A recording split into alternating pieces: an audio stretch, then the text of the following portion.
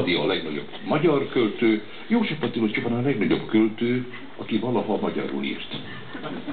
És tegyük hozzá, ma ő a legelevenebb, legelevenebb a hallgatóknak között.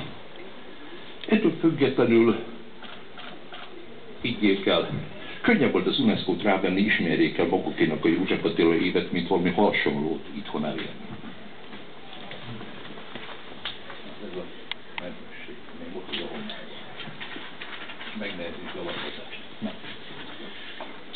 Tudják, az a probléma nyilatkozott egy alkalmi illetékes, hogy ez József Attila inkább baloldali költő volt, mint a nemzeti középkormánya vagyunk.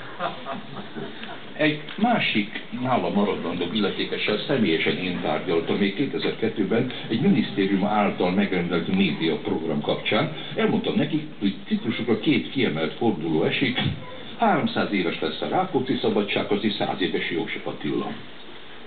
És te mit akarsz ebbe csinálni? Hát majdnem lényegtelen. Én a kincskereső gyermekújságban szerkeztek, vagy tematikus számot, vagy ha igény lesz rá számokat is. Én nem támogatom a te üzletedet. Sajnos ez József Attilára és Rákóczira is vonatkozott, akiket én kompromittáltam. Szóval bemaradtunk. Manapság gyakran láthatom őt a képernyőn, arra kér, hogy most én támogassam az ő üzletét.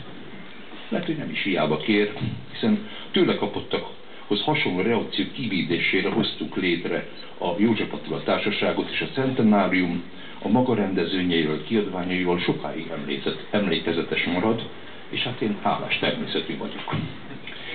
Az ilyen törvényszerűen elénk állított utakadályok sajnos kivéthetetlenek, de a lényeg sokkal inkább az, mit üzen nekünk ma, ezen a napon is a költészet, egészen pontosan mit üzen József Attila költészete.